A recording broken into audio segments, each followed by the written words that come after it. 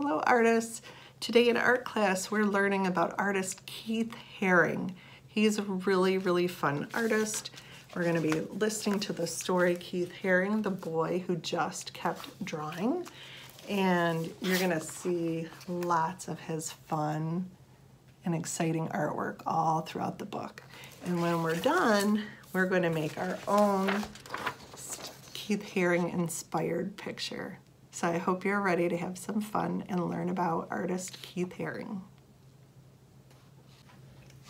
Keith Haring, The Boy Who Just Kept Drawing by K. A. Haring and illustrated by Robert Neubecker.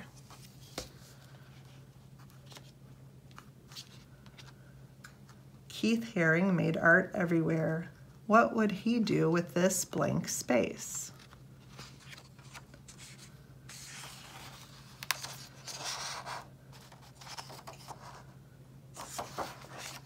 There was a boy named Keith. When he was little, his father taught him how to draw dogs and fish and funny things. His dad would draw a line, then Keith would draw one. Soon the whole page would be full. From that time on, Keith never stopped drawing. In elementary school, while taking tests, Keith doodled on the edge of his paper. When he handed in his work, his teachers would ask, why did you doodle on this important paper? Keith didn't answer. He went back to his desk and just kept drawing. Sometimes Keith invited his friends to draw in his backyard clubhouse. Keith made symbols and said each one represented a letter of the alphabet. His friends asked, why do you use symbols to write? Keith drew more symbols. It was his way of answering their question. He encouraged his friends to join him. As a teenager, Keith liked to draw in his bedroom with music playing loud. He would draw on every piece of paper he could find. His mother had to yell over the music. Why can't you turn that music down and go outside to ride your bike? But Keith had sold his bike to buy art supplies, so he answered, Look at the cool drawings I did. And he just kept drawing. When Keith was in high school, he won his first prize for his art. A successful couple from town offered to buy his drawing. Keith said, no thank you. If you enjoy my art, you may hang it on your wall, no charge. Keith's sisters were shocked. Why didn't you take the money, they asked. Keith shrugged. He just wanted to keep drawing. Keith graduated from high school and went to the big city of Pittsburgh to a school that would teach him about art. There were boys on the street trying something new, breakdancing. He liked the crazy shapes of their bodies as they turned and flipped on the ground. While the music played loud, Keith started drawing wiggly lines. His teachers asked him, why are you drawing pictures that look like scrambled bodies? This is not what we told you to draw. Keith knew how to draw. He just wanted to draw in different ways, and he kept drawing. Keith moved to the huge city of New York when he was 20, so he could draw with other artists. He started to draw all over the city, on walls, on sidewalks, and on paper that hung on lampposts. His drawings were washed away by the rain or torn down by street cleaners. Other artists asked Keith, why do you draw in places where your pictures are erased? Keith didn't hear them. He was searching for another wall so he could keep drawing. Keith got a job delivering packages and sometimes rode the subway, one day he saw a panel of black paper on the wall in a station. He rushed outside to buy chalk and came back and began to draw. The white chalk made bright, smooth lines on the black paper. Day after day, Keith filled the empty panels in the subway stations with art. Soon people who were riding, who rode the subway were looking for the white chalk drawings. No one knew the name of the artist, but his drawings were easy to recognize. People asked him, why are you drawing here? What do your pictures mean? Keith said, What do you see? You decide what they mean. Where Keith lived, there was trash on the street, and people didn't always say hello to each other. One day, he and his friends cleaned up 20 bags of garbage in front of a long wall. Then Keith painted square faces with smiles and body shapes dancing upside down. The neighbors liked the drawings and stopped to say thank you. A policeman came by and lectured Keith. Why did you do this? I have to give you a ticket because you didn't get permission. Keith paid the fine and just kept drawing. Soon people wanted to see more of Keith's drawings and he was asked to display his work in an art gallery. Art was hung from floor to ceiling, and in between he painted on the walls. Keith invited everyone to come and enjoy his work. All of Keith's artwork sold. The gallery owner asked him, What are you going to do with all this money? Keith said, I read in the newspaper that there are kids who don't have enough to eat. I don't I didn't have this money yesterday and I was happy. If I don't have it tomorrow, I'll still be happy. All children need to eat. I'll send the money to them. The gallery owner gasped. Why? Keith just smiled and started to draw again. Now people were inviting Keith to draw in famous museum, museums and exhibit in galleries all over the world. He was proud that he'd become a successful artist, but wherever he went, Keith insisted he paint a mural so everyone could enjoy his work, not just the people who had money to buy it. During a visit to Paris, France, Keith painted on the outside of a children's hospital, six stories high. Newspaper reporters came to take pictures and asked, Why did you paint at the hospital? Do you think it will make the sick children feel better? Keith didn't have time to answer. He had to finish the painting.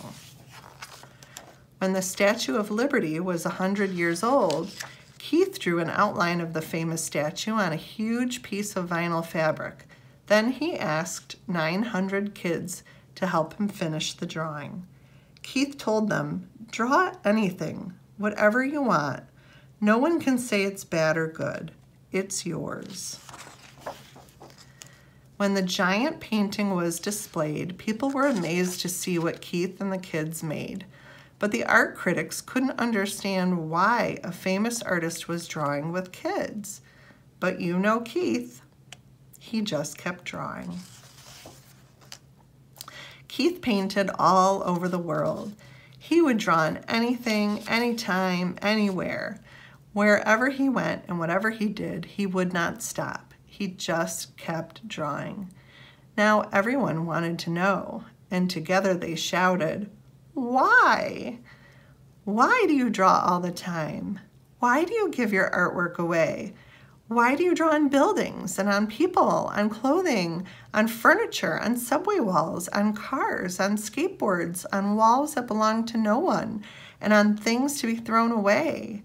Why do you draw on everything? Keith stopped drawing just for a moment and answered, I draw all the time because there are many spaces to fill. I give my drawings away to help make the world a better place. I draw everywhere because everyone needs art. Then Keith turned back to the street, took a piece of chalk from his pocket, and just kept drawing.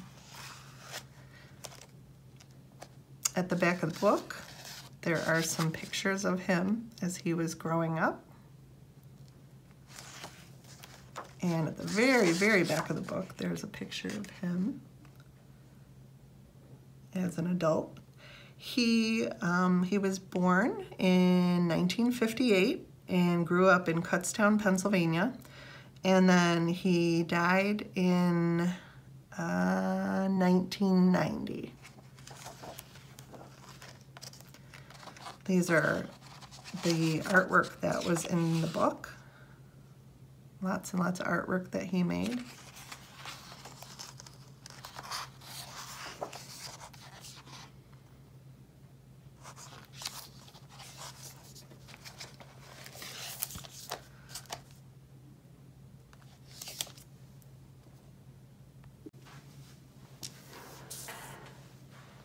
You're gonna need a piece of paper for our project today. And we're gonna turn it the tall way. And you will need a pencil. And then you'll need a black marker, preferably. Um, I would rather you have a black marker if possible, but if you don't, you can use a black crayon or you can use a, um, even maybe a ballpoint pen like that, that's black. All right, and then we'll also need um, one other color, but that'll be your choice. So we're gonna draw today a little bit in the style of Keith Haring. And he was very well known for drawing people, but people that didn't have faces. It was really just an outline. So we're gonna um, draw a couple people here. So I'm gonna have you start first um, about just a little lower than the middle of your paper. Start by drawing a curvy line like a rainbow. And then we're gonna draw a line that goes up this way, and then another line that goes up this way. And then I'm gonna have you draw another line next to each of those lines. So this is gonna be the person's arms. And for hands, we're keeping it really simple, just like Keith Haring did. We're not gonna draw the fingers, we're just drawing a little shape. We're gonna draw their, the body coming down. And then we're gonna make our person look like they're kind of dancing almost. So we're gonna draw a line out and line down. And then over here, we're just gonna draw a straight line. And then we're gonna draw a line down and a really simple line for the foot, or shape for the foot. And this side, you can kind of make, can bend the leg a little bit too. And then add a really simple shape for the foot. All right. Now on this side over here, we're gonna draw another person. And right about the same level, we're gonna add their head. So we're gonna do the same thing. We're gonna draw a line that's kind of like a um, rainbow line. We're gonna draw a line up and another line up and another line next to that one for the arms. Draw those simple shapes for the hands. Line down for the chest and the back. And we're gonna bend the leg here and draw another line next to it. You can add a little foot. And if we bring this line for the back over, we can just draw one line down and add a little foot. Like that. So it looks like two people and they have their arms up. So you might be wondering, what are we gonna do with the rest of this paper? Well, one of the, um, one of the paintings that he used to draw quite a bit had people holding up um, a heart. So we are going to work on that. We're going to draw him holding up a heart. So, or draw them holding up a heart. So it's going to be really big. You're going to want to start at the top and come down just a little ways. You can put a little dot there, and if you want to, you can even add a little dot down here, and that will be the, the bottom of the heart, so you know where to stop. And we're gonna draw a curvy line that goes up like a candy cane and comes down, but goes behind the hand and down there. And then we're going to go here at the top, draw it like a like a candy cane going this way, down, and down, just like that. All right, and then we're gonna take either our crayon, if you have the black crayon, or black marker, or your pen, or if you don't have any of that, you can just use your pencil, and we're gonna make our lines thicker. Kind of like, think about like um, if you were drawing in a coloring book, how the lines are usually, um, they usually have a black outline and they're sometimes a little bit thicker. Um, so go ahead and start tracing. If you have um, a black Crayola marker too, that would work too.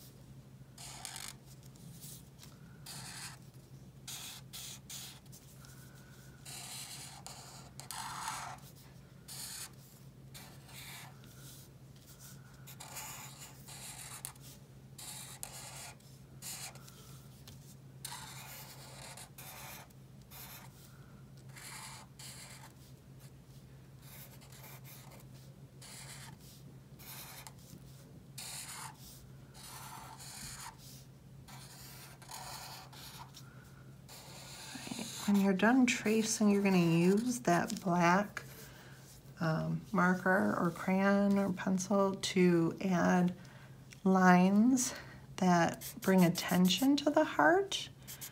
So we're going to put little lines and you can have them, they can be different sizes, you know, some could be small, some could be a little bit longer around the heart.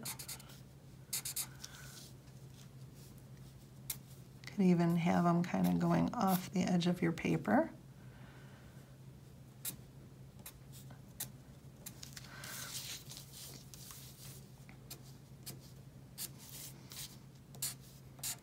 They're not actually touching the heart.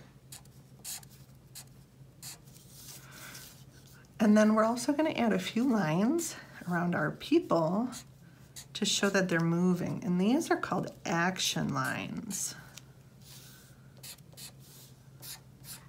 So go ahead and add some action lines. When you're all done, you're gonna find either a crayon or a marker or both, and you're gonna color in the heart. And you can choose any color for the heart. Um, if you want to, um, you can make the heart more than one color, which I think is what I'm gonna do.